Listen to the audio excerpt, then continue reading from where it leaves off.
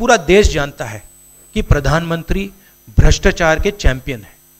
कुछ दिन पहले प्रधानमंत्री ने एएनआई को बहुत लंबा इंटरव्यू दिया।